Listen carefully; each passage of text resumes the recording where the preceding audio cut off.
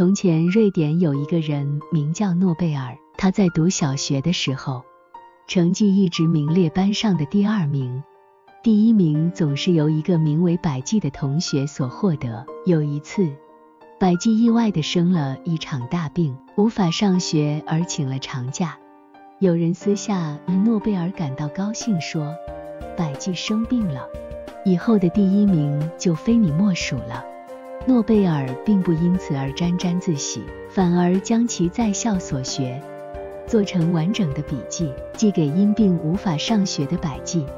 到了学期末了，百济的成绩还是维持第一名，诺贝尔则依旧名列第二名。诺贝尔长大之后，成为一个卓越的化学家，最后更发明了火药而成为巨富。当他死后，并将他所有的财产全部捐出，设立了知名的诺贝尔奖，每年用这个基金的孳息奖励在国际上对于物理、化学、生理、医学、文学、经济及致力于人类和平有所贡献的人。